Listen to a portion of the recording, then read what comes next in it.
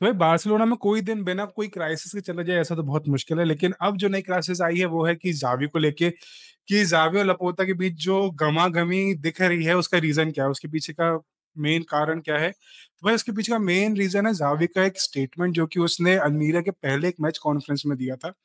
उसने बोला था कि Laporta and Deco are positive but the economic issue will mark our sports planning और दूसरा था कि summer transfer window we will decide with the fair play but it's not the time to respond ये जो चीज़ें Xavi भैया ने बोली हैं, इसके बाद जो एक नया क्राइसिस चालू हो गया बार्सिलोना में, कि जावी और लपोता के बीच की जो केमिस्ट्री पूरी खराब हो चुकी है, लेकिन इसके पीछे का मेन रीजन क्या? मेन रीजन ये है कि, देखो, हम सब जानते हैं कि बार्सिलोना की फाइनेंशियल क्राइसिस इस वक्त बिल्कुल ही खराब हो चुकी है मतलब पैसे ही नहीं है, पैसे आ रहे हैं तो वापस उनको मतलब सिस्टमेटिकली उनको यूज़ करना पड़ेगा। ऐसा ज़ावी को फ्री हैंड नहीं है कि तुम जाओ, तुम्हें जो साइनिंग करनी है तुम कर लो। ज़ावी को जो साइनिंग चाहिए वो लपोर्ता नहीं दे सकता और जो लपोर्ता दे सकता है वो ज़ावी को चाहिए नहीं।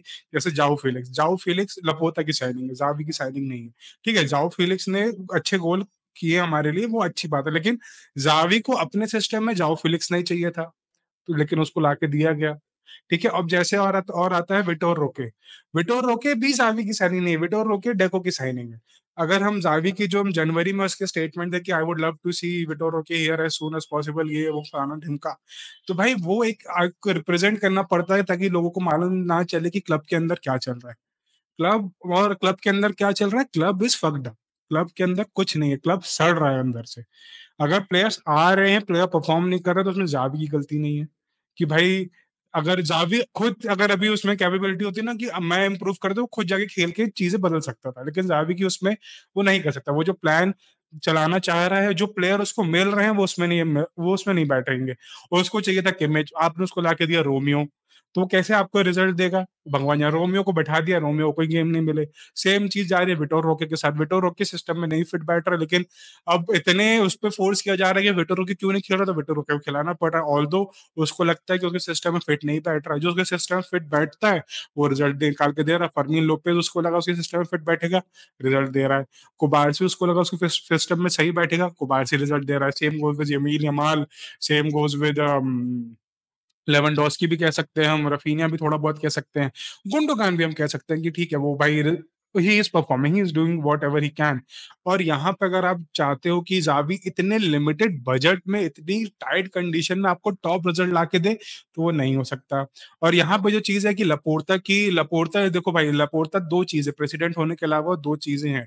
He is a politician and he is a lawyer ठीक है तो you can trust his word whatever he says you can't trust him Laporta ने इलेक्शन के पहले भी बहुत कुछ कहा था कि उसने जावी का, का का कार्ड खेल के उसने इलेक्शन तो जीत लिया लेकिन पहली चीज़ उसने करी कि उसने मेसी को ही निकाला बाहर जो कि ठीक है हम समझ में आता है कि भाई कंडीशन खराब थी और उसके पहले हमें किसी को कुछ नहीं मालूम था कि कंडीशन खराब है कि नहीं है किसी को कोई आइडिया नहीं था लापोर्ता ने आगे बताया भाई कंडीशन खराब है ये है वो है फलाना ढिमका है ठीक है उसके बाद मैथ्यू भी चला गया उसकी जगह आप लाए डेको को डेको और जावी के बीच की केमिस्ट्री नहीं बन रही है जावी बोलता है ए, डको बोलता है जेड। तो इतना बीच का अगर गैप है तो क्लब कैसे चलेगा?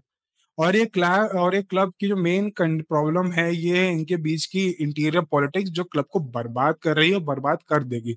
जावी और लपोता के बीच में अगर चीज़ ठीक होती है तो डेको के साथ खराब हो जाती है। डेको और जावी के बीच में ठीक कुछ ठीक होता है तो लपोता के साथ खराब होता है। और जावी और लपोता और डेको अगर सेम पेज पे आ गए तो जावी के साथ बर्बाद हो जाता है। आपने पहले इतनी मिन्नतें करी इतनी आ, मतलब इतनी मुश्किल से आपने जावी को बनाया कि प्लीज़ स्टे अब जावी अपना मुँह खोल रहा है तो तो हम आपको प्रॉब्लम है। और मैं तो बोलूँगा जावी को भी ये गलती मैं उसकी बोलूँगा कि भाई, ठीक है, अगर आपको लग रहा है कि ये चीज़ें खराब है तो आपको अपनी मीटिंग में बोलनी चाहिए। तो जब आपको आपने एग्री करा कि भाई, क्या चीज़ है, क्यों हो रहा है, ऐसा, तब आपने अपना मुँह बंद रखा। तब आपने बिल्कुल, तब आपने कुछ शायद आपने एक्सप्लेन नहीं किया, आपको आपने एक्सप्लेन भी किया होगा, तब आपको हाँ बोल दिया गया। बाद में आपको बोला गया कि भाई, ये चीज़ें नहीं हो पाएँगी। और अब जो, अब तो जेरार्ड रोमेरो ने भी कह दिया कि Xavi will not continue for the next season as a Barça manager तो भाई ये चीज़ अगर हम, अगर हर एक चीज़ यहाँ पे पॉइंट करे कि जावी की गलती है तो भाई I won't agree on that कि हर चीज़ जावी की गलती नहीं हो सकती। जावी की गलती है कहीं ना कहीं that I would agree but हर जगह जावी की गलती नहीं हो सकती। जावी की गलती कहीं कहीं है, लेकिन मेजर फॉल्ट जो है वो एक स्पोर्ट प्लानिंग नहीं है, एक कोई ढंग का आपका स्ट्रक्चर नहीं है कि आपको क्या करना है। आप उसको ऐसे आप उसको मिड प्लेयर ला के दे रहे हो और आप चाह रहे हो कि वो टॉप लेवल की फुटबॉल खिला दे तो वो नहीं हो सकता। अगर आप अपने कॉम्पिटिटर को देखो रियाल मैड्रिड आपने पिछले के पिछले सीज़न जीता। आपने अच्छे खासे लीड से आपने सीज़न जीता। फिर रियाल मैड्रिड ने प्लानिंग करी, रीस्ट्रक्चर किया अपने सब कुछ, तो उन्होंने इस बार अच्छे रिज़ल्ट दिए, वो जूड बेलिंगम को लेकर आए, उसने अच्छे रिज़ल्ट दिए इस बार। ठीक है, अब अगले साल अब एम्बापे ले आएँगे और आपको एम्बाप्पे के साथ वो उस टीम के साथ कॉम्पीट करना है, तो अब ये सड़ी हुई मतलब मिड प्लेयर के साथ आप इस टीम के साथ उनको नहीं कॉम्पीट कर सकते। आप इस टीम के साथ कॉम्पीट नहीं कर सकते क्योंकि भाई रियाल मैड्रिड जिस फॉर्म में है और जिस तरीके की वो जा रहे हैं, आपको कैसे लगता है कि आप इतने फाइनेंशियल क्राइसिस में इतने आपके पास नंबर इतने हैं नहीं, क्रंच भी करोगे आप अपने नंबर्स को तो भी आप उतना फाइ इतना फ्री हैंड आप नहीं दे पाओगे ज़ावी को कि भाई जा देखो जो साइनिंग करनी कर ले, वी विल बैक यू, नहीं हो सकता। ज़ावी की आप सैलरी देखो ढाई मिलियन, लेवेंडोस्की की सैलरी होगी अगले सीज़न 30 मिलियन। तो यहाँ से आप फाइनेंशियली भी आप बर्बाद हो चुके हो, आपकी प्लानिंग भी बर्बाद हो चुकी है, आपका प्रोजेक्ट जो है वो किस डायरेक्शन में जा रहा है ये भी आपको नहीं मालूम। पहले आपने ज़ावी को बहुत हाथ पकड़ के जोड़ हाथ जोड़ के बोला कि भाई रुक जा, वो रुक गया।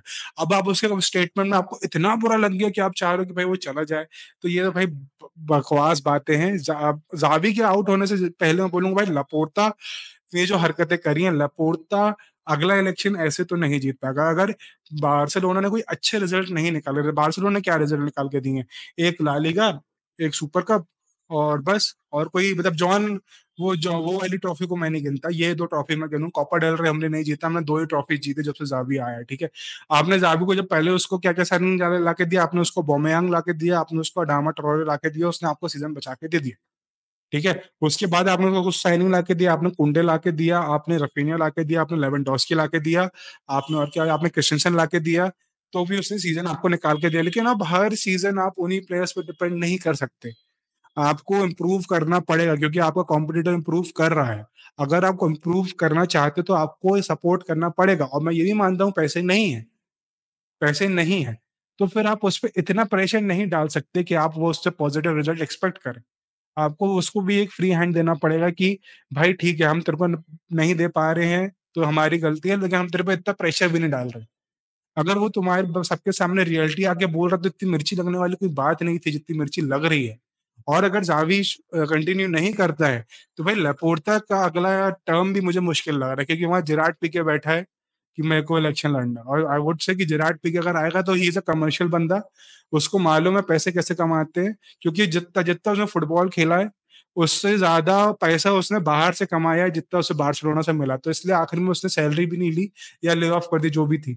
उससे ज़्यादा पैसा तो बाहर से कमा चुका। तो वो बंदा जब बाहर बैठा कि वो पैसे ला सकता है, उसको आइडिया है और लपोर्ता यहाँ इतनी मचा के बैठा हुआ है कि है ही नहीं कुछ, बर्बाद हो हो चुके हैं हम।